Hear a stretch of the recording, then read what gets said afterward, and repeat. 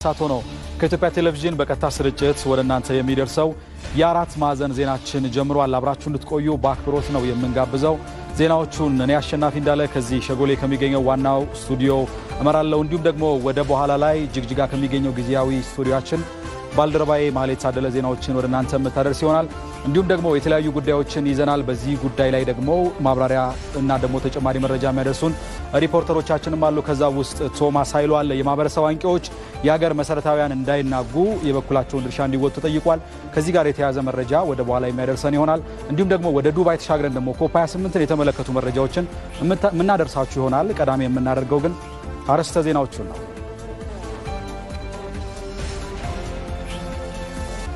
ህዝበ ሙስሊሙ ሲንጓተቱ ለነበሩ ጥያቄዎች ለተሰጠው ምላሽ ለጠቅላይ ሚኒስትር አብይ አህመድና ከንቲባ አዳነች አቤቤ ምስጋና ቀረበ።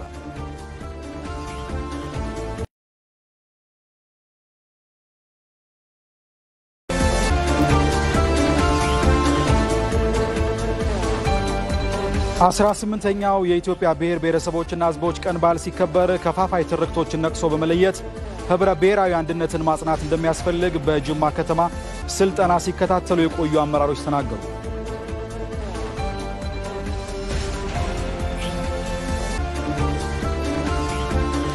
የሸዋሊድ በዓል በዓለም ቅርስነት ተመዘገበ።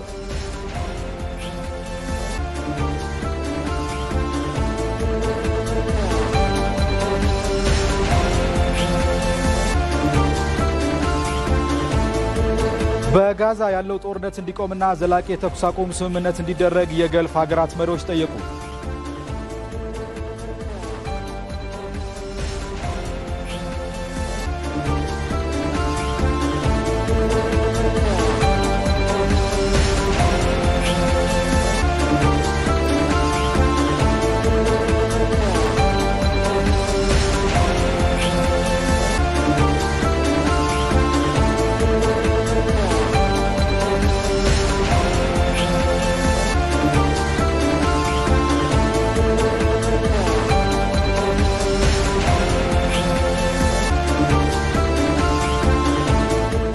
እናደርገው አጫጭር መረጃዎችን ነው።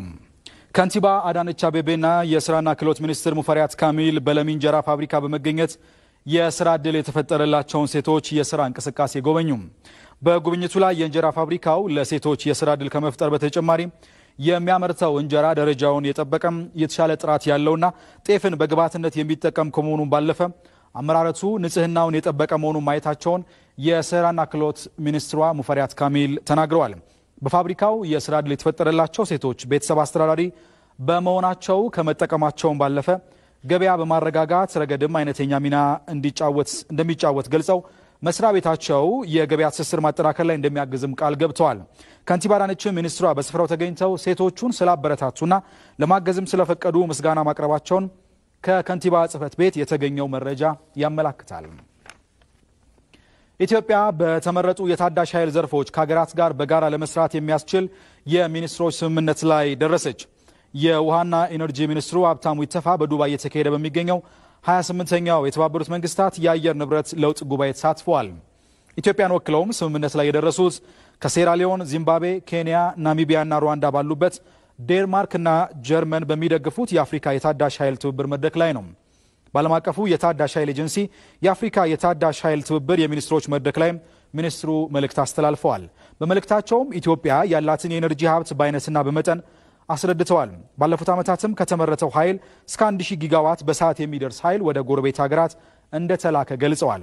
የአፍሪካ የታዳሽ ኃይል ትብብርም የኃይል ትስስሩን ለማሳለጥ አዎንታዊ ሚና እንደሚጫወት መጠቆማቸውን ከውሃና ኢነርጂ ሚኒስቴር ያገኘነው መረጃ ያመላክታል።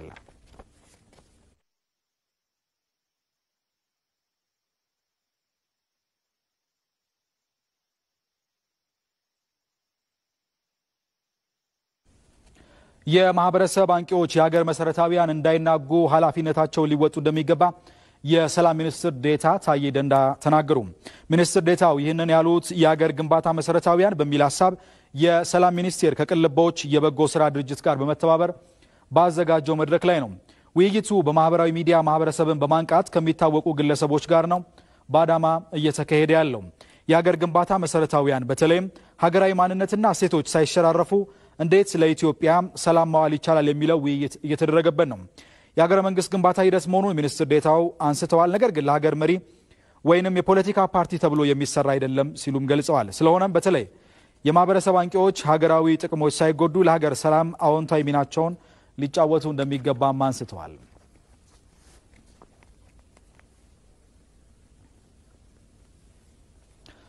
በዚህ ጉዳይ ላይ ተጨማሪ መረጃ ላደርሰን ሪፖርተራችን ቶማስ ኃይሉ በቀጥታ መስመራችን ላይ ነው የሚገኘው።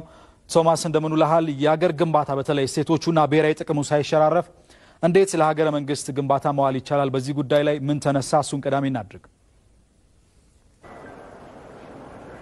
አመሰግናለሁ አሸናፊ። እንግዲህ ቀደም ሲል አንተም እንዳልከው የሰላም ሚኒስቴር በተለይም ደግሞ የሀገር መሰረታዊያን እንዳይናጉ ምን መደረግ አለበት የሚለውን በዛሬው ዕለት በዚህ በአዳማ ከተማ ከማህበረሰብ አንቂዎች እንዲሁም ደግሞ በተለያዩ የማህበራዊ ሚዲያዎችን በመጠቀም የተለያዩ መረጃዎችን ለአድማጭ ተመልካቾቻቸው የሚያደርሱ ግለሰቦች ጋር ነው በስፋት እየተወያየ የሚገኘው። እንግዲህ ለሀገር መንግስት ግንባታ መሰረታዊ የሚባሉ ጉዳዮች አሉ፣ ሴቶች አሉ፣ እንዲሁም ደግሞ በአጠቃላይ ደግሞ የሀገራዊ መሰረቶቻችን እንዳይናጉ ምንድስ ነው መደረግ ያለበት የሚለው ነው በዛሬው ዕለት በሰፊው ውይይት ሲደረግበት የነበረው ማለት ነው። እንግዲህ የሰላም ሚኒስትር ዴኤታው አቶ ታዬ ደንዳ በአጽንኦት ሰጥተው የተናገሩበት በርካታ ጉዳዮች ቢኖሩም ነገር ግን በተለይም ደግሞ ኢትዮጵያ የሀገረ መንግስት ግንባታ ሂደቷ አሁንም በሂደት ውስጥ እንዳለ ገልጸዋል ማለት ነው። መሪዎች በተቀያየሩ ቁጥር የሀገረ መንግስት ግንባታውን በዛው ልክ የመዘግየት እንዲሁም ደግሞ የመፍጠን ጉዳዮች ይታያሉ።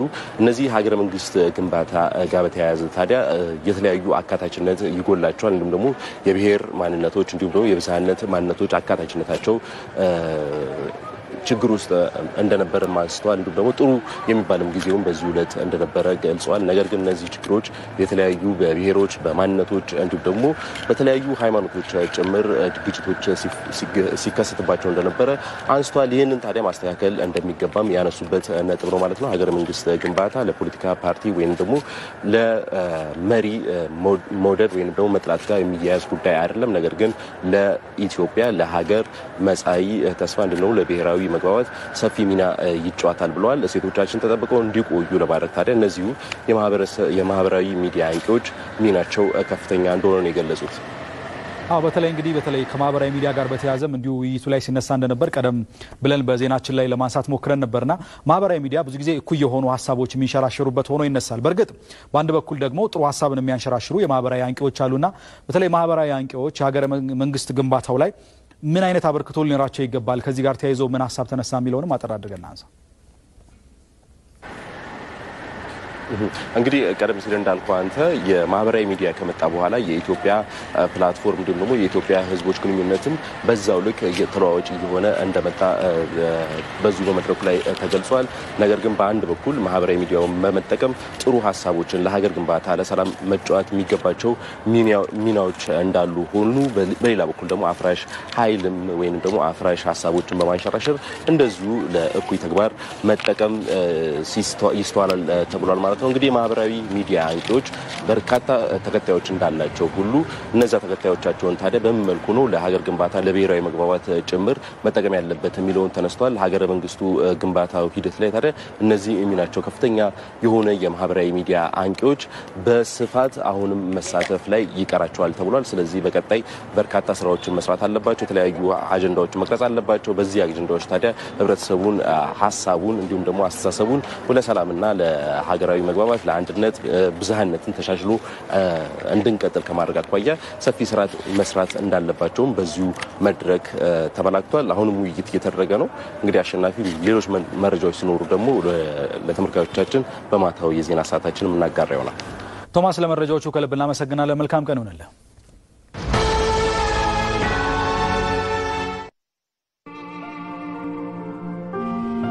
የዛሬ አስር ዓመት ገና በቂ አማራጭ ባልተመቻቸበት በዚያ ጊዜ እየተመኙ ያላገኙትን እየፈለጉ ያጡትን ለሕይወቶ እገዛ ለነፍሶም እፎይታ የሚሰጠውን ከወለድ ነፃ የባንክ አገልግሎት በሀገራችን አስተዋወቅን።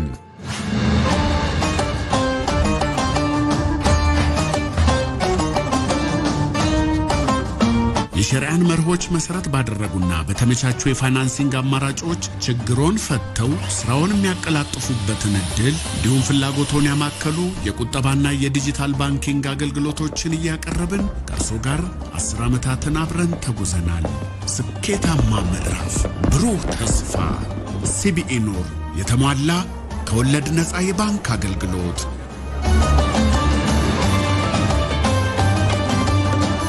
ያሳለፍናቸውን አስር የስኬት ዓመታት ተመርኩዘን እልፍ የከፍታ ዓመታትን በወዳጅነት እንዘልቃለን። እናመሰግናለን። የኢትዮጵያ ንግድ ባንክ ሁሌም የሚተማመኑበት ባንክ።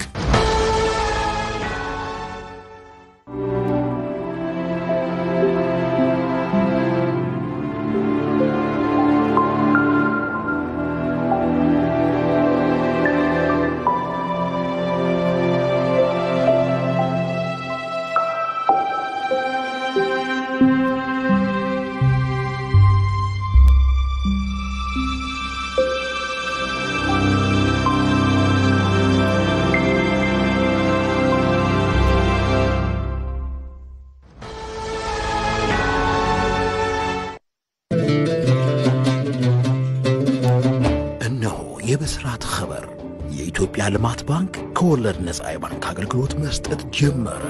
ዲቢኢ ታውን ከሐሳቡ ጥንስስ እስከ ህልሞ ስኬት በቤተሰባዊ ቅርበት በጠለቀ ወዳጅነት አብረን ዓመታትን ዘልቀናል።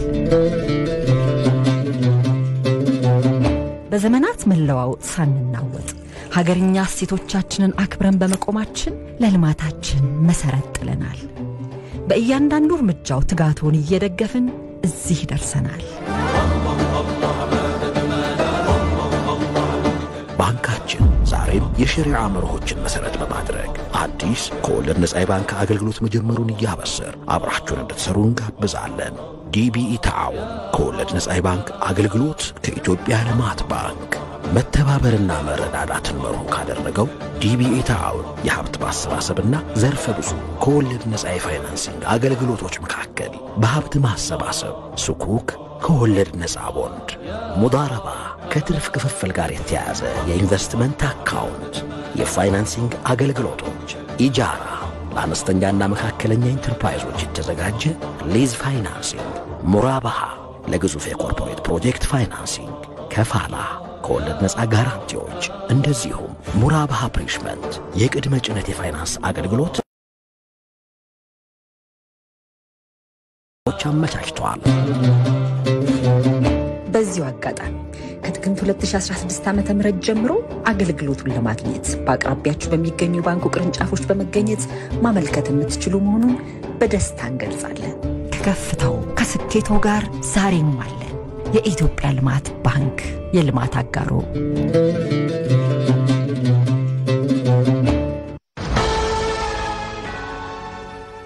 በአማራ ክልል የጸጥታ ችግሮች የነበሩባቸው አካባቢዎች ወደ ቀድሞ ሰላማቸው ተመልሰው መደበኛ እንቅስቃሴዎች መቀጠላቸውን የብልጽግና ፓርቲ የአማራ ክልል ቅርንጫፍ ጽህፈት ቤት ገለጸ።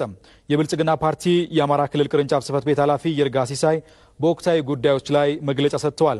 በክልሉ ከወራት በፊት ተከስቶ በነበረው የጸጥታ ችግር ምክንያት የአስቸኳይ ጊዜ ጠቅላይ መምሪያ ተቋቁመው ወደ ስራ መገባቱን አስታውሰው አሁን ላይ በክልሉ አንጻራዊ ሰላም መስፈኑን ተናግረዋል። የመንግስትንና የጸጥታ መዋቅሩ በማጠናከር በተሟላ ቁመና ላይ እንዲገኝ መሰራቱንም ጠቅሰዋል። በተለይም የመንግስት መካከል አቅሙን እንዲገነባ ተደርጓልን ብለዋል። ህብረተሰቡን ያሳተፈ ሰላምን የማስፈን ስራ በስፋት መሰራቱን የጠቆሙት አቶ ይርጋ በዚህ መልካም ውጤቶች ታይተዋል ሲሉም ገልጸዋል። አንጻራዊ ሰላም እንዲመጣ በዚህ ክልል ልማት ጎን በጎን እንዲጀምር የማህበራዊ አገልግሎቶች ኦን እንዲሆኑ በማድረግ ረገድ ብዙ ስራዎች ተሰርተዋል። ይህን ተከትሎ ብዙ ከተሞች አሁን መንግስት ነው የሚከታተላቸው የሚመራቸው። ብዙ ወረዳዎችም መንግስት ነው የሚከታተላቸው የሚመራቸው። በብዙ አካባቢ ሰላም የመስፈን እሱን ተከትሎ ከመንግስት የሚጠበቁ ስራዎች እየተሰሩ ያሉበት ሁኔታ እንዳለ ታሳቢ እንዲደረግ ነው። የክልሉ የጸጥታ መዋቅር ከበፊቱ በተሻለ ሁኔታ ተደራጅቶ ጸጥታን እያስከበረ መሆኑንም ገልጸዋል። በቀጣይም የመንግስት መዋቅሩን የበለጠ ለማጠናከርና ዘላቂ ሰላምን ለማስፈን መንግስት በትኩረት ይሰራል ተብሏል። ነፃ የምርት ዝውውር እንዲኖርና በትምህርት ቤቶች የመማር ማስተማር ስራ እንዲቀጥል እንደሚደረግም ተጠቁሟል። መሰረታዊ የሆኑ የህዝብ ጥያቄዎችን በየደረጃው ለመመለስ የተግባር ስራዎች እየተከናወኑ ነው ያሉት አቶ ይርጋ አሁን ላይ የሚስተዋሉ የጸጥታ ችግሮች ሂደቱን እያጓተቱ መሆኑንም አንስተዋል። በክልሉ የተከሰተው ድርቅ የከፋ ጉዳት እንዳያደርስ አስፈላጊው ርብርብ እንደሚደረግም ገልጸዋል። ችግሮችን በሰላም ለመፍታት መንግስት የሰላም ጥሪ በተደጋጋሚ እያቀረበው መሆኑን ተከትሎም የሰላም ጥሪውን ተቀብለው የተመለሱ ኃይሎች መኖራቸውንም አቶ ይርጋ አብራርተዋል። ሆኖም ግን አሁንም ቢሆን ሰላማዊ አማራጭን በማይከተሉ ኃይሎች ላይ የሚወሰደው እርምጃ ተጠናክሮ እንደሚቀጥልም አሳውቀዋል። በተደረገው ውይይት መሰረት በብዙዎቹ አካባቢዎች በራሳቸው ህዝብን ይቅርታ እየጠየቁ የሚገቡበት ሁኔታ እየተፈጠረ ያለበት ሁኔታ ነው ያለው። ምናልባት አሁን ከረር ያለ ሀሳብና ተግባር ውስጥ ያለው ጽንፈኛ አካል ካልሆነ በስተቀር ድሮ ሲያንዣብብ የነበረው ኃይል እየተለየ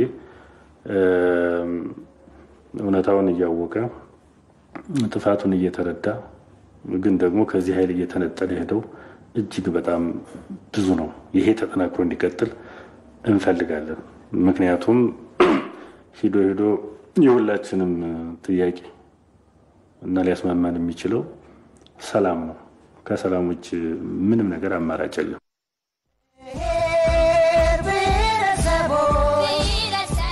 ቋንቋ ሰጥቶ ቋንቋ ተቀብሎ ባህል ሰጥቶ ባህል ተቀብሎ በየኩታ ገጠሙ ከሰሜን ከትግራይ ጀምሮ እስከ ደቡብ ድረስ ያለው እንደዚያ ነው የኖረው። ኢትዮጵያ ኢትዮጵያዊነት የሚለው ቃሉ ራሱ እንደው ስሰማው መላ ሰውነቴ ነው በደስታ የሚዋጠው።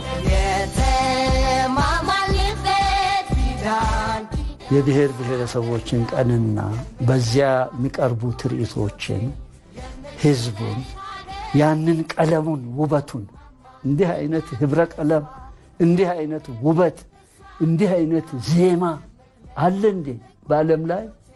የሚገርም እኮ ነው። ውበት ነው። ኢትዮጵያ ከኢትዮጵያውያን ውጭ ማንም የላትም።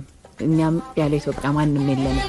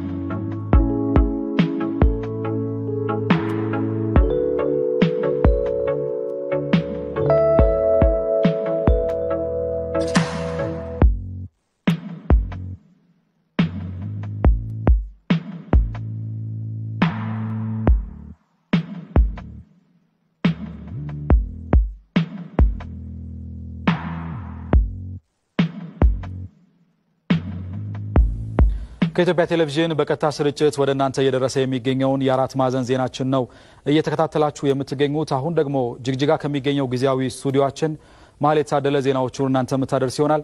ማሌት እንደምን ውለሻል? ዜናዎች መቀጠል ትችላለች። አመሰግናለሁ አሸናፊ። ሰላም እንደምንውላችኋል የተወደዳችሁ ተመልካቾቻችን። ከኢትዮጵያ ቴሌቪዥን ጅግጅጋ ከሚገኘው ጊዜያዊ ስቱዲዮ ዜናዎችን ይዤ ቀርብ ያለው ማሌት ታደለ ነኝ። አብራችሁን ቆዩ።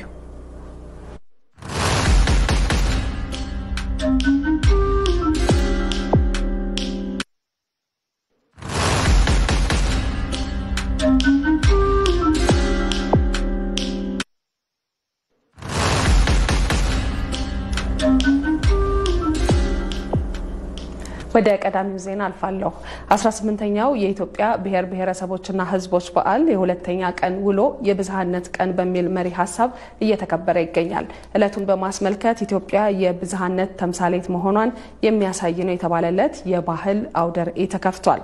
አውደ ርዕዩ የሕዝቦችን ትስስር የማጠናከርና የእርስ በርስ ግንኙነትን የማጎልበት ዓላማ ያለው ነው ተብሏል።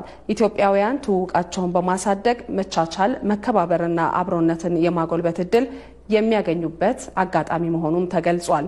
በአውደ ርዕዩ ላይ ከሁሉም የሀገሪቱ አካባቢዎች የመጡ ተሳታፊዎች ባህላዊ አለባበሶቻቸውን፣ ሙዚቃዎቻቸውና ሌሎች እሴቶቻቸውን ለእይታ አቅርበውበታል።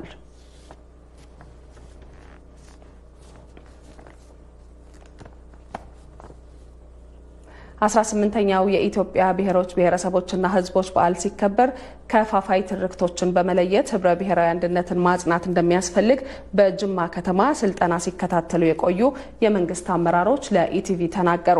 የፌዴራሊዝምን ጽንሰ ሀሳብ በመገንዘብ በኢትዮጵያ የብሔር ብሔረሰቦች እኩልነትና አብሮነት እንዲጠናከር የመንግስት አመራሮች የድርሻቸውን እንደሚወጡ ተናግረዋል። አስተያየቶቻቸውን ሪፖርተራችን ዮናስ ካሳ አሰባስቧል። ይሄ ብሔር ብሔረሰቦች በዓል እንደ አገር በጣም ትልቅ የሆነ ጥልቅ ትርጉም ያለው ነገር ነው። ሰው የሆነ አካባቢ ተክዶ ወይ የሆነ ከተማ ላይ ተክዶ ሰው ተገናኝቶ የሚለያይ አይነት ትርጉም ያለው በዓል አይደለም። ይሄ ጥልቅ በዓል ያለ ነው። አገራችን ውስጥ ብሔሮች፣ የተለያዩ ብሔር ብሔረሰቦች አሉ። አንድነቱ እንዳለ ሆኖ እንደ አገር አንድነታችን እንዳለ ሆኖ ፍጹማዊ አንድነትም አያስፈልግም። ፍጹማዊ ልዩነትም በማያንጸባርቅ ሁኔታ የብሔሮችን እውቅና ለመስጠት ብሔሮች በሀገር ልዩነት የብሔር ልዩነት እንዳለ ብቻ ለማንጸባረቅ የሚደረግ የክብር በዓል ነው። እንግዲህ የብሔር ብሔረሰብ በዓል የሚባለው የኢትዮጵያ ብሔር ብሔረሰቦች ተሰብስበው በጋራ አገራችንን የሚያስታውሱበት፣ ባህላቸውን የሚገልጹበት ቋንቋቸውን የሚገልጹበት የአለባበሳቸውን የሚያሳዩበት አመጋገባቸውን የሚያሳዩበት ነው። እንግዲህ ይሄ ባህል ለኢትዮጵያ ሕዝብ በጣም አስፈላጊና የጋራ መድረክ አድርገን ፈጥረን ኢትዮጵያን የምናስታውስበት መድረክ ነው። የብሔር ብሔረሰብ በዓል ማለት ነው። ኢትዮጵያ ላይ ትርክቶች ነበሩ። ሁለት ናቸው። አንዱ ፍጹማዊ አንድነት ነበረ። እሱን ለመመከት ደግሞ ፍጹማዊ ልዩነት ነበር ለሀያ ሰባት ዓመት ደግሞ የተቀነቀነው። አሁን እኛ ደግሞ የምንከተለው አስታራቂውን ነው። ስለዚህ አሁን ብሔር ብሔረሰቦች ቀን ማለት ማንም ሰው ሲወለድ በሰማንያ ሶስት አይደለም ብሔር ብሔረሰብ ተጠፍጥፎ የተሰራውና ሺህ ዓመት ነበሩ እነዛ ብሔር ብሔረሰቦች ከሰማንያ ሶስት ወዲህ የህገ መንግስታዊ እውቅና ያገኙ እንጂ የነበሩ ናቸው። ስለዚህ እውቅና ማግኘታቸውን ለማስታወስ የተደረገ ነገር ነው። ፌዴራሊዝሙ መቀመጥ ያለበትን ቦታ ማስቀመጥ ነው ያለብን። ህገ መንግስቱ በሚለው መንገድ ነው ማስቀመጥ ያለብን። ትክክለኛ ፌዴራሊዝምን መሬት ለማስያዝ አሁን የጀመርነው መንገድ አሁን የጀመርነው ጉዞ ኢትዮጵያን ወደፊት የሚያስፈነጥራት ነገር ነው። ስለዚህ አመራሩ ትክክለኛውን የሚናገረውን የሚተገብር የተገበረውን ደግሞ ትክክለኛውን ለህዝብ የሚያደርስ መሆን እንዳለበት ነው የሚታይ። ብዝሃነታችን ለጋራ አብሮነታችን መሰረት መሆኑን ከድሬዳዋ ነዋሪዎች መማር ይገባል ሲሉ የድሬዳዋ ዩኒቨርሲቲ ምሁራን ተናገሩ። የድሬዳዋ ነዋሪዎች ተቻችለው መኖራቸው ለከተማዋ ሰላም ትልቅ አስተዋጽኦ እንዳደረገም ምሁራኑ ገልጸዋል። ቶማስ ኃይሉ አለው። የፍቅር ከተማ ስለሚባልላት የድሬዳዋ ከተማ በመዲናዋ ውስጥ ባለው የድሬዳዋ ዩኒቨርሲቲ መምህር የሆኑት ዶክተር ነጋ አበራና ዶክተር ሮባ ጴጥሮስ ስለ ድሬ ከተማ ሁሉን አቃፊነት ይናገራሉ። በዚህም ከአንድ ምዕተ ዓመት በፊት ከአዲስ አበባ ጅቡቲ የተዘረጋው የምድር ባቡር ምስረታ ጀምሮ ከሀገር ውስጥ የሚሆን ከውጭ የመጡ ዜጎችን አቻችላ ሰነ መቆየቷ ጠቁመዋል። የተለያዩ ቋንቋዎች፣ የተለያዩ ባህሎች፣ የተለያዩ ልማድና ወጎች፣ የተለያዩ ሃይማኖቶች በጥምረት የፈጠሯት ከተማ ነች። ከምስረታዋ ጀምሮ ራሱ ኢትዮጵያውያኖች ብቻ ሳይሆኑ ብዙ የውጭ ዜጎችን አንድ ላይ ሰብስባ የያዘች ነው። ወደ ሀገሩ ስንመለስ ደግሞ የሌለባት ብሔር የለም። ነገር ግን ድሬዳዋ ላይ ለየት የሚያደርገው ከሌላ ቦታ ማ ምን እንደሆነ አታውቅም። ኦሮመኛም፣ አማርኛም፣ ሶማለኛም፣ አደረኛም፣ አረበኛም ስለሚናገር ምናልባት ብሔር ለመጠየቅ ራሱ ሼም ይዛል እና ሰውየ ሁሉንም ስለሚችል ስለዚህ ዝም ብለ በቃ የድሬዳዋ ልጅ ነው ብለ ታልፈዋለኝ። በእርግጥ የድሬ ሕዝብ ልዩነት ውበት መሆኑን አስመስክሯልም ነው የሚሉት ምሁራኑ። ድሬዳዋ ላይ ስትመጣ በርካቶች እንደሚሉት ሰው መሆንህ ነው፣ ሃይማኖትህ አይደለም፣ ቋንቋ አይደለም። የወፍ ቋንቋ ማውራ ድሬዳዋ ላይ ዞር ብሎ የሚያይ ሰው የለም። ያንን ከመሰረቱ ጀምሮ ይዞት አሳድጎት ያኖረው ባህሉ ነው፣ እሴቱ ነው። ግጭቶች ሊከሰቱ ይችላሉ። ምላስና ጥርስ ራሱ ይጋጫል። so በጣም ወሳኝ አባቶች ግን አሉ ግጭቶችን ማርገብ የሚችሉ ለምሳሌ የሶማሌ፣ የኦሮሞ፣ የአማራ የሁሉም ብሔር ብሔረሰብ ሽማግሌዎች ስላሉ ቶሎ ይፈታል። ድሬዳዋ ላይ ይቅርታው አጭር ነው። ድሬዳዋ ላይ ይሄ ለይቅርታ ብሎ ተራራ መዞር የለም። የድሬ ህዝብ ለዘመናት ጠብቆ የኖራቸው ብዝሃነትን አክብሮ የመኖር ልማድ ሌሎች ክልሎችም ሊተገብሩት እንደሚገባ ምሁራኑ ገልጸዋል። ማንኛውም ነገር የሚገነባው በልዩነቶች ውስጥ ነው የሚገነባው ነገር እየው ራሱ ማለት ነው። ልዩነትን እንደ መጥፎ ነገር አይደለም የምናየው። እንዴት እንያዘው? ለጋራ በሆነ መልኩ የራስ ልዩነት አለ፣ የጋራ ልዩነት አለ፣ የጋራ አንድነት አለ። አሁን መጥፎ የሚሆነው ከሆነ ብሔር ውስጥ መምጣትህ ሳይሆን ያም ብሔርን አሲዘ ፖለቲካ ስትጫወት፣ ያም ብሔርን አሲዘ ሃይማኖተኛ ሃይማኖተኛ ስትጫወት እሱ ነው መጥፎ። ከኔ ብሔር ውጭ ያለውን ብገድል ምንም እስከማይመስለን ድረስ እስከ መጓዝ ደርሰናል። ያ የ identity crisis ጉዳይ ነው። ሀገርን የተረዳንበት የእኛም ማንነት የተረዳንበት ፖለቲካችን ብሔር ሸጦ ብሔር አሲዞ ምረጡኝ ወይ ደግሞ ብሔር አሲዞ እንጂ ብቃት ኖሮት አይደለም። ያ ላይ ካጠነጠነ cycle of conflict ይቀጥላል። የግጭት ኡደቱ ይቀጥላል። የድሬዎችን ፍቅርና አንድነት ለኢትዮጵያ መጻኢ ተስፋ መጠቀም ለነገ የማይባል የቤት ስራ ሊሆን ይገባል። ለኢቲቪ ቶማስ ኃይሉ ከድሬዳዋ። ከኢትዮጵያ ቴሌቪዥን ጅግጅጋ ጊዜያዊ ስቱዲዮ ዜናዎቻችን ቀጥለዋል። ተመልካቾች ወደ ተከታዩ እናልፋለን። ህገ መንግስቱ ለሰብአዊና ዴሞክራሲያዊ መብቶች መከበር ሰፊ ሽፋን ቢሰጥም በአተገባበር ረገድ ግን ችግሮች መኖራቸውን የህግ ባለሙያዎች ገለጹ። የሚታዩ ችግሮችን ለመፍታት መስራት እንደሚገባም ያነጋገርናቸው የህግ ባለሙያ አንስተዋል። ሪፖርተራችን መቅደላዊት ደረጀ ከጠበቃና የህግ ባለሙያ ጋር ያደረገችውን ቆይታ እንከታተል። ጠበቃና የህግ አማካሪ ዳዊት ገብሩ ስለ ጊዜ በጣም ነው የምናመሰግነው። እኔ በጣም አመሰግናለሁ መቅደላዊት። ህገ መንግስቱ ለኢትዮጵያውያን ያጎናጸፋቸው መብቶች ምንድን ናቸው ከሚለው እንጀምር። መሰረታዊ fundamental principles of constitution ወይም ደግሞ መሰረታዊ መርሆች የምንላቸው አለ constitution ውስጥና ወይም ህገ መንግስት ውስጥ አንቀጽ አስር ላይ በግልጽ አስቀምጦታል። ሰብአዊና ዲሞክራሲያዊ መብት አንዱ ዋናው የህገ መንግስቱ መርህ መሆኑን የሚያሳይ ነገር አለ። ሌላው አንቀጽ 13 አካባቢ የፌዴራልና የክልል ሁሉም አይነት አስተዳደሮች ወይም አደረጃጀቶች ህገ መንግስቱን የማስፈጸም ግዴታ እንዳለባቸው በግልጽ ያስቀምጠዋል። ህገ መንግስቱ ውስጥ ከምዕራፍ አንድ እስከ ሶስት ሰፊ ሽፋን ሰጥቶታል ለሰብአዊና ለዲሞክራሲያዊ መብት። ሌሎች ሀገሮች እንደም እንደዚህ አይነት experience ብዙም የለም።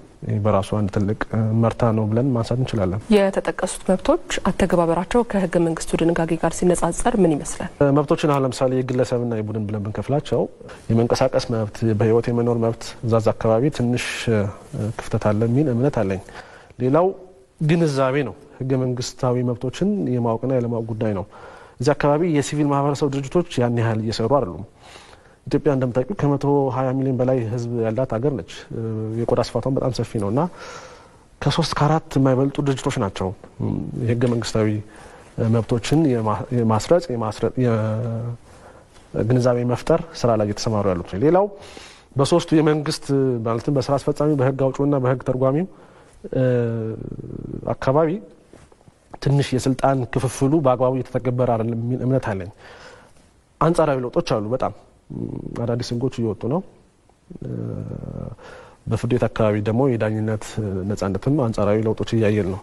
so ይሄ እንደተጠበቀ ሆኖ ግን የስልጣን ክፍፍሉ ላይ ትንሽ ክፍተት አለ ብዬ አስባለሁ። ሌላው ቁርጠኝነት ነው። constitution ወይም ህገ መንግስት የህግ ሰነድ ብቻ አይደለም፣ የፖለቲካ ሰነድም ነው። ስለዚህ የፖለቲከኞች ቁርጠኝነት ይጠይቃል፣ በጣም ይጠይቃል። ህገ መንግስቱ ላይ የሚነሱ የአተገባበር ችግሮች እንዴትና በማን ሊስተካከሉ ይገባል? እንግዲህ የረጅም ጊዜ መፍትሄ ከጠየቅሽኝ ትምህርት ነው መጀመሪያ ማስቀምጠው። የትምህርት ፖሊሲ፣ የትምህርት ጥራት፣ ትምህርት የተማረ የሰው ኃይል ሲበዛ ነው መብቱን የሚያስከብረው። ብሎም ጥራት ያላቸው መሪዎች ሊፈሩ የሚችሉት ወይም ውድድር ሊኖር የሚችለው የትምህርት ጥራት ሲኖርና ቆንጆ የሚባል የትምህርት ፖሊሲ ሲኖር ነው። ስለዚህ ለየትኛውም ችግር የመጀመሪያ መፍትሄ ለእኔ እንግዲህ የትምህርት ፖሊሲ ይመስለኛል። ሌላው ለህዝባቸውና ለህሊናቸው የተገዙ ቁርጠኛ የሆኑ መሪዎች ሲኖሩን ህገ መንግስቱ በአግባቡ ይተገበራል የሚል እምነት አለኝ። ኢትዮጵያ እንግዲህ ከሶስት ሺህ ዓመት በላይ ታሪክ ያላት የህዝብ ብዛቷ ስድስት አሚን ዘጠኝ ዲጂት ቁጥር ያላት ብዙ ብሔሮች፣ ጎሳዎች፣ ቋንቋዎች የሚወራባት ሀገር ስለሆነች ህገ መንግስቱ በአግባቡ አልተተገበረም በሚል ሀሳብ እስከ መለያየት እስከ መጣላት ከምንደርስ ውይይት ዋናው መሰረታዊ አካሄድ ይመስለኛል። ጠበቃና የህግ አማካሪ ዳዊት ገብሩ ስለ ጊዜ በጣም ነው የማመሰግነው። የፌዴራሊዝም ስርዓት ብዝሃነትን በማረጋገጥ የህዝቦችን ተጠቃሚነት ይበልጥ ለማስተናገድ የሚያግዝ ስለመሆኑ ምሁራን ገለጹ።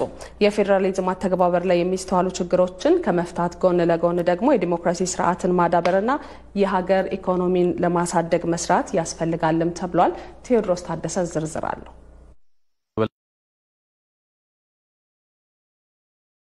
ላይ መንግስታት የሚኖራቸውን የተናጠልና የወል አስተዳደር በማጣመር የሚገነባ የመንግስት አወቃቀር መሆኑ ይገለጻል። የፌዴራሊዝም ስርዓት የብዝሃነት ጥያቄዎችን ለማስተናገድ የሚያስችል ተመራጭ አደረጃጀት ተደርጎ የሚወሰድ ሲሆን ከዓለም ህዝብ መካከል አርባ በመቶን በሚይዙ 28 ሀገራት ውስጥ ይኸው ስርዓት ተግባራዊ ተደርጎ እንመለከታለን። በአረማ ዩኒቨርሲቲ የሚገኙ የታሪክ ምሁራን ስርዓቱ በ1987 ዓ ም በጸደቀው የኢፌዴሪ ህገ መንግስት ላይ በዋናነት የብሔሮች ብሔረሰቦችና ህዝቦችን የራስ ዕድል በራስ የመወሰን መርህን መሰረት አድርጎ በዘመናዊ መንገድ የኢትዮጵያ የመንግስት አወቃቀር ሆኖ መደንገጉን ያነሳሉ። በአሁኑ ዘመን ባለብዙ ዘርፍ ነገሮችን አቅፎ ዲሞክራሲንም አቅፎ ስልጣን በማዕከላዊ መንግስት እጅ ብቻም ሳይሆን በክልሎች፣ በአካባቢዎች የሚሳተፉበት ድምፅ የሚኖራቸው ራስን በራስ የማስተዳደር የሚሉ ሀሳቦች አጠቃሎ የያዘው እና comprehensive በሆነ መልኩ ነው በአሁን ሰዓት ያለው። በኢትዮጵያ የማንነትና የብሔር ጭቆና፣ የመልማት መብት መነፈግ፣ የሰብአዊና የዲሞክራሲያዊ መብቶች አፈናና የመልካም አስተዳደር እጦት የወለደው የፌዴራል ስርዓቱ በወቅቱ ብሔር ብሔረሰቦችና ህዝቦች በቋንቋቸው የመናገር የመጻፍና ቋንቋቸውን፣ ባህላቸውን እንዲሁም ታሪካቸውን የመግለጽና የማዳበር መብት ቢያጎናጽፋቸውም እያደር ክልሎች በፌዴራል አስተዳደሮች ውስጥ ሚዛናዊ ውክልና እያጡ እንዲሁም ራስን በራስ የማስተዳደር ሂደት ላይ በነበሩ ጣልቃ ገብነቶች ምክንያት የሚፈለገውን ለውጥ ማምጣት እንዳልተቻለ ምሁራኑ ተናግረዋል። በራሳቸው እድል የራሳቸው መወሰን በራሳቸው አካባቢ እነሱ የሚፈልጉትን ሰው የማምረት እና የራሳቸውን ቋንቋ ግልጽ አድርጎ የመጠቀም ነገር ላይ ተጽዕኖ ነበር። በተሻለ ሁኔታ የህዝቦችን ጥያቄ ይመልሳል ተብሎ መሬት ጋር ሲወርድ ብዙ ችግሮችንም ይዞ መጣ። በክልሎች መካከል አንዱ የራሱ ልዩ ኃይል አለው፣ ያም አለው። ይሄ በአንድ ሀገር ውስጥ የተለያዩ ኃይሎች አሉ እና እነዚህ ልዩ ኃይሎች ወደ አንዱ ክልል ከሌላው ጋር ወደ መዋጋት ወደ ውጊያ የመሄድ አዝማሚያዎች ይታያሉ። እንደገና ደግሞ በተለያዩ ክልል የሚኖሩ የኢትዮጵያ ዜጎች አሉ።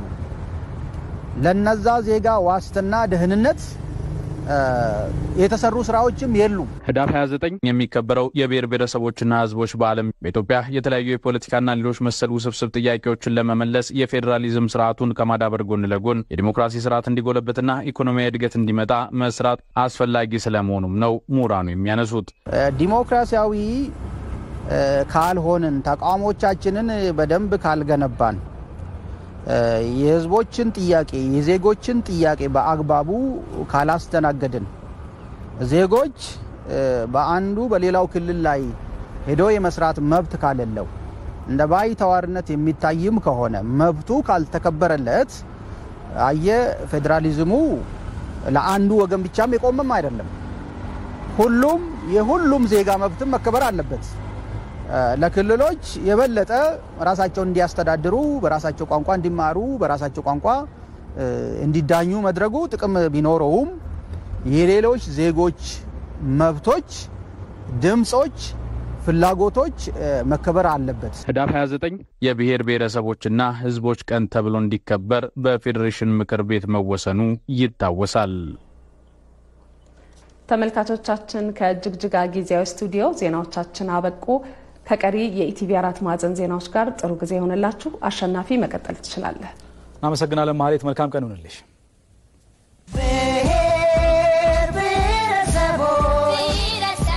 ለመላው የሀገራችን ብሔሮች ብሔረሰቦችና ህዝቦች እንኳን ለ18ኛው የኢትዮጵያ ብሔሮች ብሔረሰቦችና ህዝቦች ቀን በሰላም አደረሳችሁ።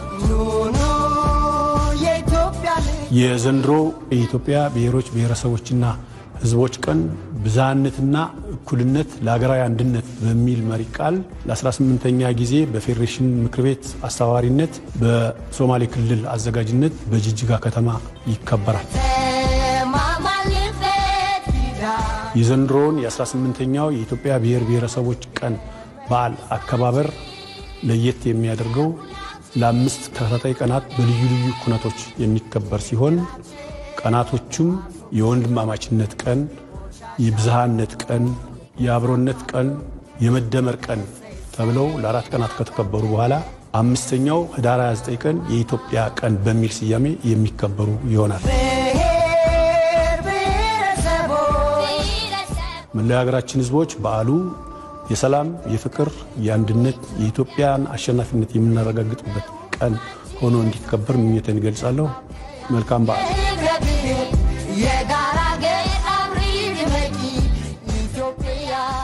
ኢትዮጵያ ያላት መልክዓ ምድራዊ አቀማመጥና የመልማት እድል ለኢንቨስትመንት ተመራጭ ያደርጋታል ሲሉ በተባበሩት አረብ ኤምሬቶች የሚገኙ ባለሀብቶች ተናገሩ። በዱባይ እየተካሄደ ካለው የዓለም የአየር ንብረት ለውጥ ጉባኤ ጎን ለጎን ኢትዮጵያ ያላትን የኢንቨስትመንት አማራጮች በተባበሩት አረብ ኤምሬት ስላሉ ባለሀብቶችና በ COP 28 እየተካፈሉ ላሉ የትላልቅ የኢንቨስትመንት ኩባንያ ባለቤቶች ገለጻ ተደርጓል። ተመስገን ሽፈራው ተጨማሪ አለው። በተባበሩት አረብ ኤምሬትስ ዱባይ እየተካሄደ ካለው የዓለም የአየር ንብረት ለውጥ ጉባኤ ጎን ለጎን የኢትዮጵያ ኢንቨስትመንት ሆልዲንግ በኢትዮጵያ ስላሉ የኢንቨስትመንት አማራጮችና እድሎች በተባበሩት አረብ ኤምሬትስ ስላሉ ባለሀብቶች እንዲሁም በ COP 28 የአየር ንብረት ለውጥ ጉባኤ በመሳተፍ ላይ ላሉ የዓለም አቀፍ ኩባንያ አመራሮች ገለጻ አድርጓል። የተጀመሩ የኢንቨስትመንት ስራዎችን ምን ላይ እንደደረሱና በ UAE ያሉ ደግሞ ትላልቅ ኢንቨስተሮችን በመጥራት ያሉ የኢንቨስትመንት opportunity ዎችን በኢትዮጵያ በግል ዘርፍም የኢትዮጵያ ኢንቨስትመንት ሆልዲንግ ስም ከተቋቋመ በኋላ የሰራቸውን ስራዎች ባለፉት ሁለት ዓመታት የማስተዋወቅና ያሉ የኢንቨስትመንት ኦፖርቹኒቲዎችን የማስተዋወቅ ነው ማለት ነው። በምክክሩ የተሳተፉ ባለሀብቶችና የኢንቨስትመንት ተቋማት አመራሮች ውይይቱ ስለ ኢትዮጵያ ገበያና የኢንቨስትመንት እድሎች ተጨማሪ ግንዛቤ እንደሰጣቸው ገልጸዋል። ኢንቨስትመንትን በተመለከተ በርካታ አማራጮች አሉ። ኢትዮጵያ የአፍሪካ ማዕከል ናት። ከዓለማችን ሶስተኛ የዲፕሎማቲክ ከተሞች አንዷ አዲስ አበባ ናት። የዛሬ መድረክም በርካታ ኢንቨስተሮችን ያሳተፈ የተሳካ እንደሆነም ይሰማኛል። ከሎጂስቲክስ አንጻር ኢትዮጵያን ስንመለከታት ለሎጂስቲክስ ገበያ ምቹ ሀገር ናት። በተለይም ኃይል ለማሰራጨት የዲጂታል ግብይት መሰረተ ልማቱም ጥሩ ነው። ቡና ላይም ለመስራት ጥሩ እድል ያለበት ሀገር ነው። የዲጂታል ኢኮኖሚ ግንባታውም የሚያበረታታ ነው። በእነዚህ ሁሉ እድሎች ኢንቨስት ማድረግ አዋጭ ነው የሚሆነው። ኢትዮጵያ የውጭ ቀጥታ ኢንቨስትመንትን ለመሳብ እያደረገች ያለችው ጥረት ሀገሪቱ ካላት ሀብትና መልክዓ ምድራዊ አቀማመጥ ጋር ተደምሮ የተሻለ የኢንቨስትመንት መዳረሻ እንድትሆን ያደርጋታለን ብለዋል ተሳታፊዎቹ። Uh, uh.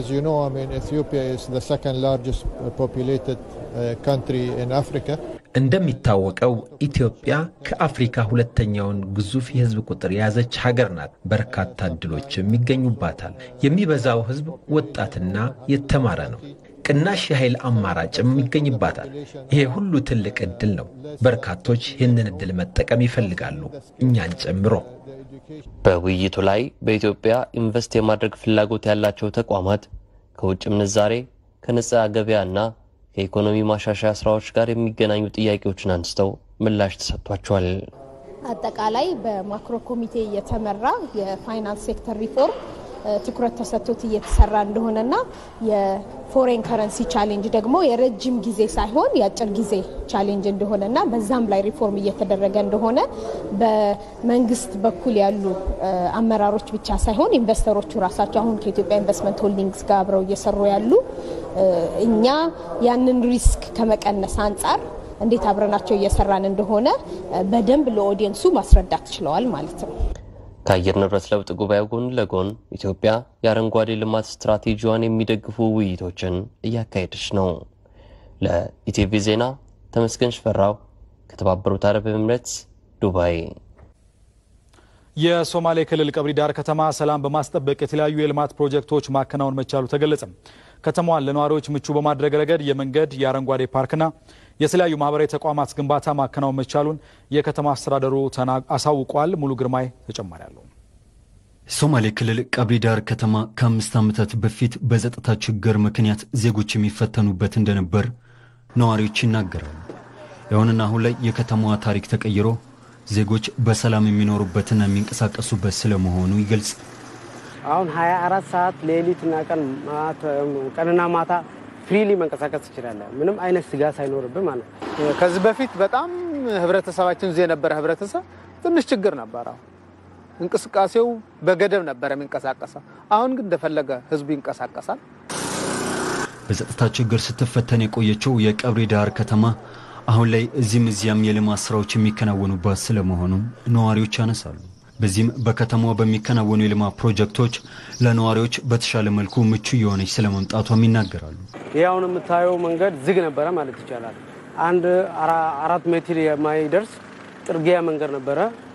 አቧራ፣ የትራፊክ መጨናነቅ፣ የህዝቡ ሌላ አማራጭ መንገዶች ያለማግኘት ትልቅ ችግር ውስጥ ነበሩ ማለት ነው።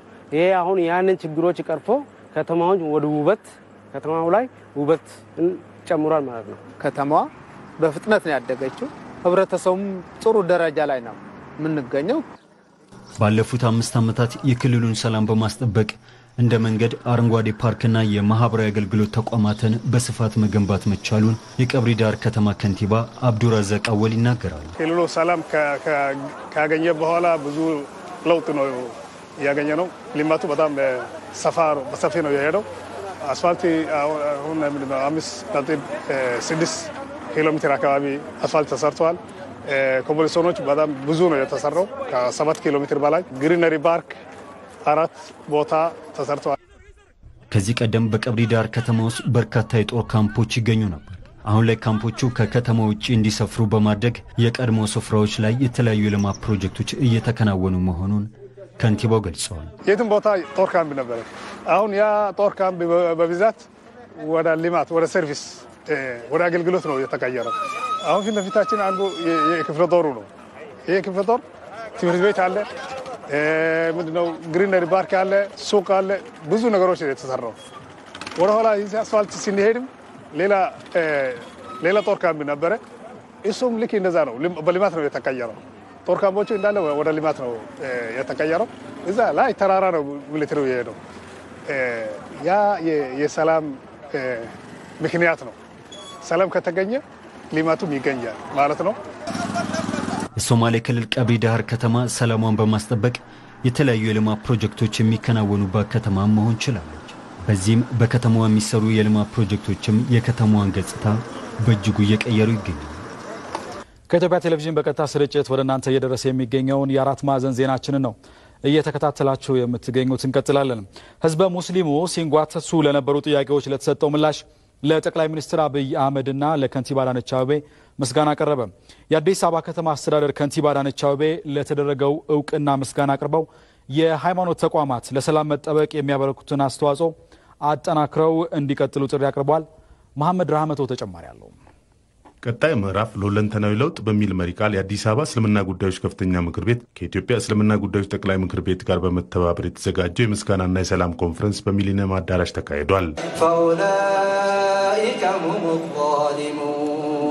የአዲስ አበባ እስልምና ጉዳዮች ከፍተኛ ምክር ቤት ፕሬዝዳንት ሼህ ሱልጣን አማኔባ ሰላም የሙስሊሞች አንዱ ሃይማኖታዊ አስኳል በመሆኑ የኢትዮጵያ ሙስሊሞች ከዚህ ቀደም ያደረጉት ሰላማዊ ትግል ለሰላም ያላቸውን ቁርጠኝነት የሚያሳይ መሆኑን አንስተው የለውጡ መንግስት ለማህበረሰቡ ጥያቄዎች ምላሽ መስጠቱን ገልጸዋል።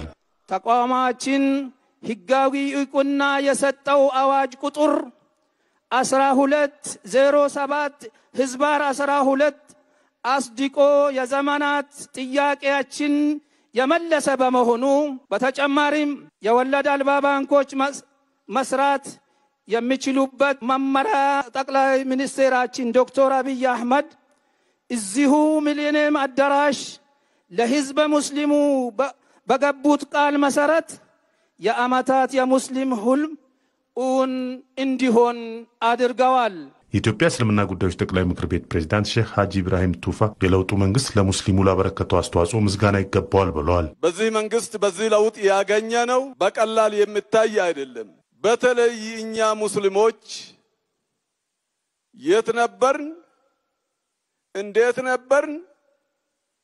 ምኑን አሳለፍን? የትላንትና ትዝታ ነው አይደለም። በዚህ አዳራሽ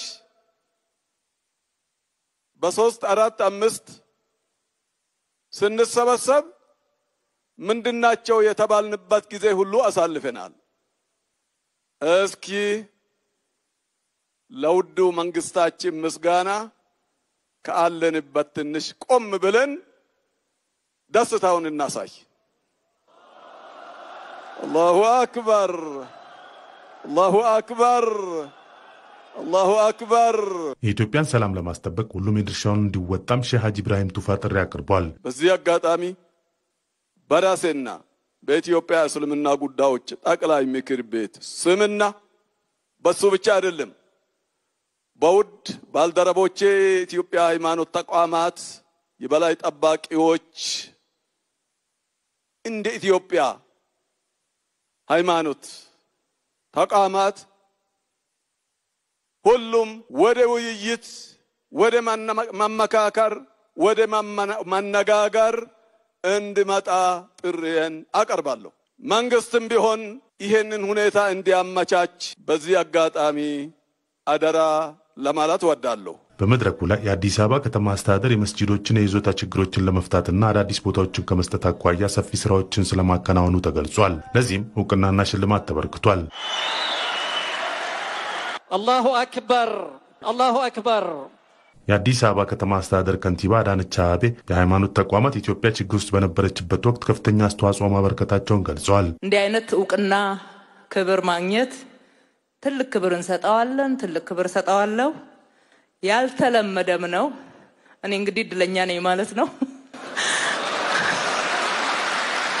ትልቁን ኃላፊነት በመወጣት በርካታ አማኞችን በማሰባሰብ የተደረጉትን የጸሎት ፕሮግራሞች መቼም ቢሆን አንረሳቸው። ከውጭም ከውስጥም ተግዳሮት በበዛበት ሰዓት ከጎናችን አልተለያችሁ። የሀገር ጉዳይ ነው ብላችሁ ፊት ወጣችሁ። የኢትዮጵያን ባንዲራ ይዛችሁ እያንዳንዱን በዓል እያንዳንዱን ሁነት ለሀገር ሰላም፣ ለሀገር አንድነት፣ ለአብሮነት ከጥፋት መንገድ ለመመለስ ብዙ ሰርታችኋልና ምስጋና ብቻ የምንቀበል ሳይሆን እጅግ አድርገን የምናመሰግናችሁ መሆኑን በዚህ አጋጣሚ መግለጽ እወዳለሁ። መንግስት ለሰላም በሩ ሁሌም ክፍት መሆኑን የጠቀሱት ከንቲባ አዳነች አቤቤ የሃይማኖት አባቶች ለሰላም የሚያበረክቱትን አስተዋጽኦ አጠናክረው እንዲቀጥሉ ጥሪ አቅርበዋል። ወደ ሰላም መንገድ ለሚመጣ ሁልጊዜም የመንግስት በር ክፍት ነው። እጅግ በጣም ደስ እያለን በሰላም ንግግር ጉዳዮቻችንን እንድንጨርስ እንሻለን። ከግጭት ኢትዮጵያ አታተርፍም። ከጥል ከብጥብጥ ውድመት እንጂ ትርፍ የለውም። ማንም በዚህ አያተርፍም። ይሄ ኃላፊነት እንዳለበት መንግስት የአንበሳውን ድርሻ ይዘንም በተለያየ መንገድ እየተንቀሳቀስን ነው ለሰላም መስራት። አባቶች እንደተለመደው ህዝበ ሙስሊሙ፣ ሌሎች የሃይማኖት አባቶችና ምዕመናን ሁሉ ለሀገራችሁ መጸለይን፣ ለመሪዎቻችሁ መጸለይን፣ ያጠፋን መምከርን፣ መገጸጽን፣ መመለስን እጃችንን ሁሉ ደግሞ ለስራ እንድናበረታ ማነሳሳትን አጠናክራችሁ ቀጥሉ። በምስጋናና ሰላም ኮንፈረንሱ ሸሪያን መሰረት አድርገው የተመሰረቱ አራት ከወለድ ነጻ ባንኮች ለጠቅላይ ሚኒስትር ዶክተር አብይ አህመድ እውቅና ሰጥተዋል። የአዲስ አበባ እስልምና ጉዳዮች ከፍተኛ ምክር ቤት በለሚ ኩራ ክፍለ ከተማ በሼህ መሐመድ ሳኒ ሀቢብ ስም ለሚገነባው መስጂድ የአዲስ አበባ ከተማ አስተዳደር የሰጠውን ቦታ ለፌዴራል እስልምና ጉዳዮች ጠቅላይ ምክር ቤት አስረክቧል። የሸዋል ኢድ በዓል በዓለም ቅርስነት ተመዘገበ። የሸዋል ኢድ በዓል በተባበሩት መንግስታት የትምህርት የሳይንስና የባህል ተቋም ዩኔስኮ መመዝገቡን ተከትሎም ሀረር በዩኔስኮ ሁለት ቅርሶችን ያስመዘገበች ብቸኛዋ የሀገራችን ከተማ ሆናለች። ሀምራይት ብርሃኑ ተጨማሪ አላት።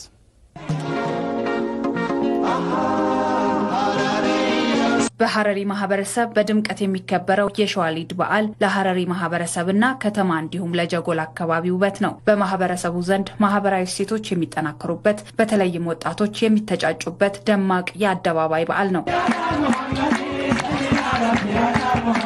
ሴቶቹና ወንዶቹ በሀረሪ አንጸባራቂ ባህላዊ አልባሳት ተውበው በመንዙማና በከበሮ ድምፅ ታጅበው የሀረርን ጎዳና በምሽት ያደምቁታል።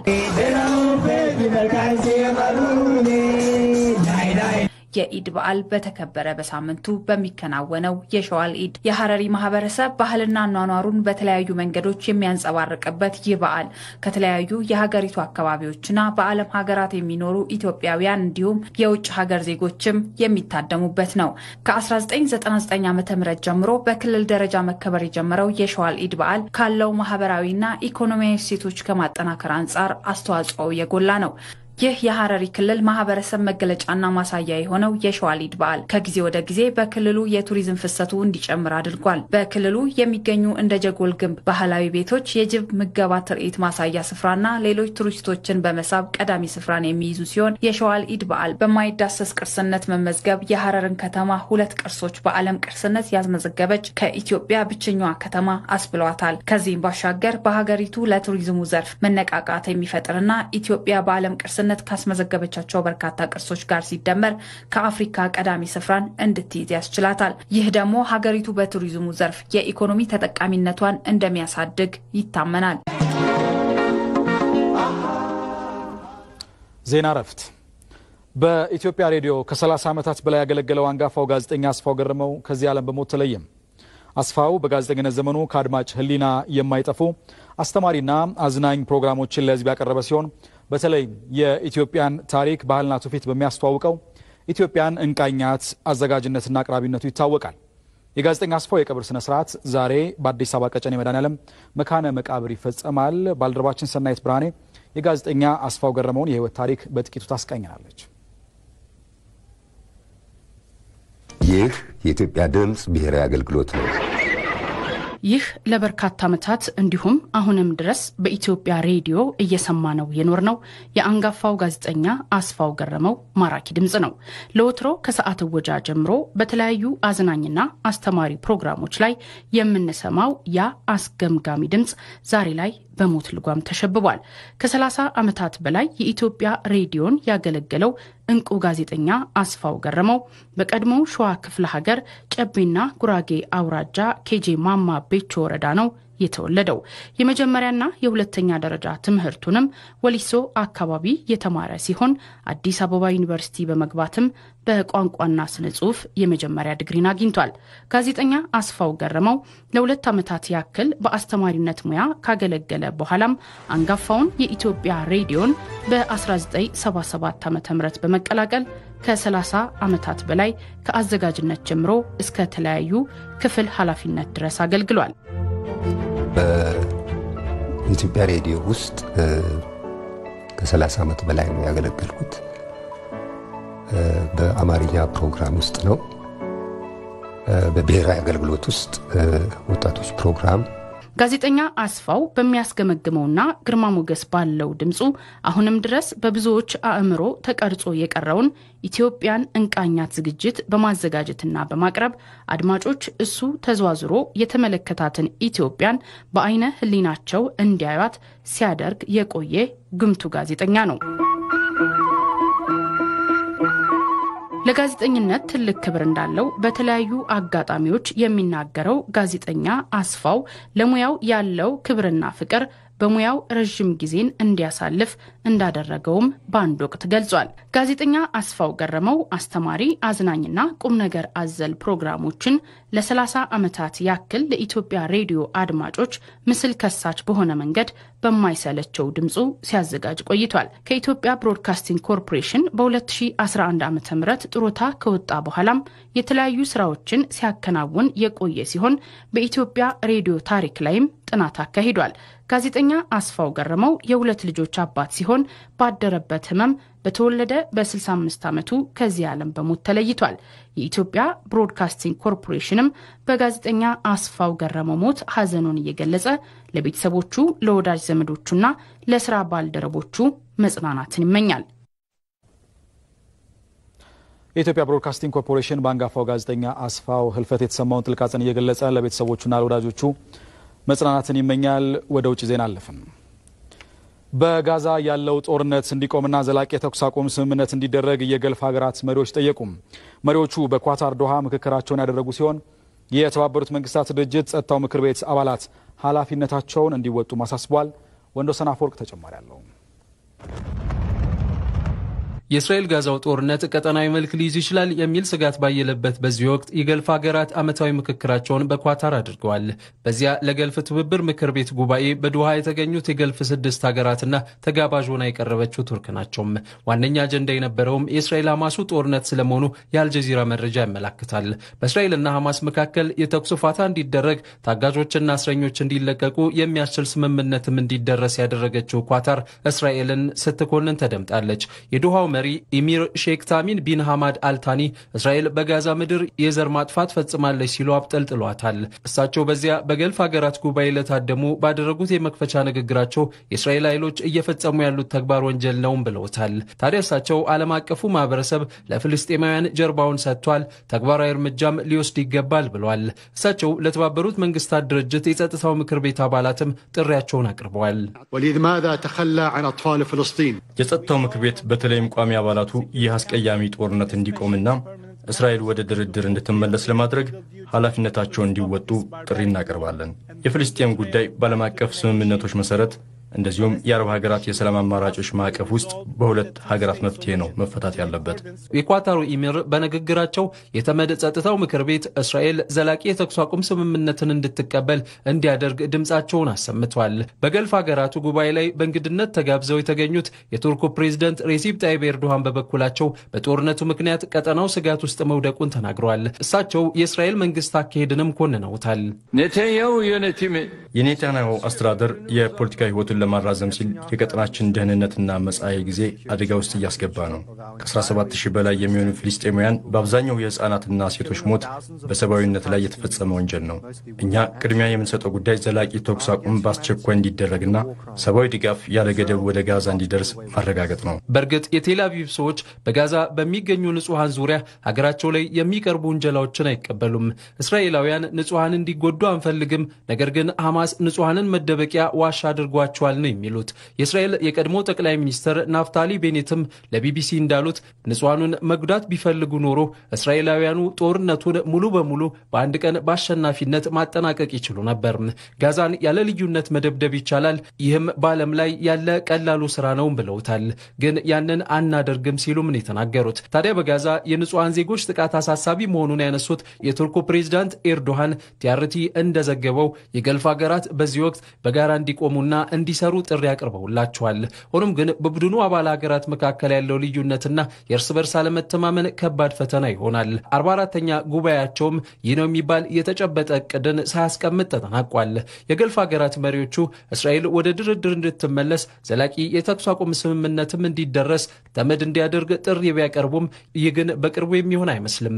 የሐማስ ሰዎች እስራኤል የምትሰነዝራቸውን ጥቃቶች እስካላቆመች ድረስ ድርድር አይኖርም ብለዋል። ከሊባኖሷ ቤሩት ሆነው ለጋዜጠኞች መግለጫ የሰጡት የሐማስ ከፍተኛ ባለስልጣን ኦስማን ሐምዳን ይህ እስካልሆነ ድረስ ንግግርም ሆነ የታጋሽና የእስረኛ ልውውጥ አይኖርምም ብለዋል።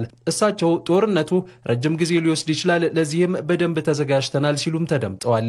በጋዛ ሰርጥ ደቡባዊ ክፍልን ጨምሮ በተለያዩ አካባቢዎች ጥቃቶችን እየሰነዘሩ ያሉ እስራኤላውያንም ቢሆኑ አሁን ላይ ከሐማስ ጋር የመደራደር ፍላጎቱ ያላቸው አይመስልም። እነሱ ከጦርነቱ መቋጫ በኋላ ስላለችው ጋዛ እያሰቡ ነው። የእስራኤሉ ጠቅላይ ሚኒስትር ቤንያሚን ኔታንያሁ አሉት እንደተባለውም ጋዛ ነፃ መሬት እንድትሆን ነው ፍላጎታቸውም። ለእስራኤል ስጋት የማይሆን መሳሪያ የሌለበት ጋዛ ሰርጥ እነሱ የሐማስን ወታደራዊና ፖለቲካዊ አቅምን ሙሉ በሙሉ መደምሰስንም እያለሙ እየሰሩ ነው። ከኢትዮጵያ ቴሌቪዥን በቀጥታ ስርጭት ወደ እናንተ ሲደርስ የቆየው የአራት ማዕዘን ዜናችን ተጠናቋል። አብራችሁን ስለነበራችሁ ከልብ እናመሰግናለን። አሸናፊ እንዳለ ነኝ። መልካም ቀን ይሆነላችሁ።